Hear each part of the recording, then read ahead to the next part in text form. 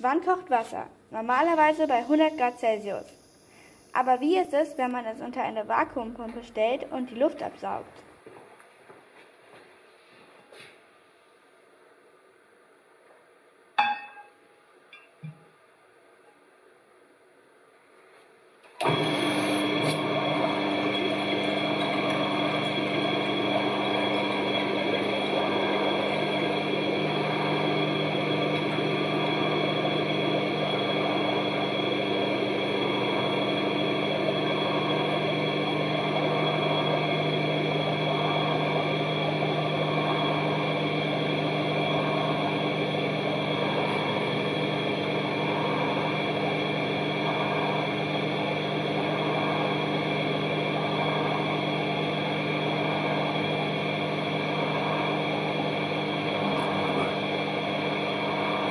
Bye-bye.